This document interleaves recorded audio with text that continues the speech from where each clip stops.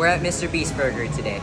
So I recently visited the Mr. Beast Burger restaurant in the American Dream Mall. And it was absolutely amazing. And by some coincidence, we were order 69. We got some Chris style and Beast style burgers. I also got some Beast style fries and a Feastables chocolate bar, which was absolutely amazing. The food was super flavorful and absolutely delicious. Overall, a 10 out of 10, and I would definitely come back here again. Also, how much money do you think is in here?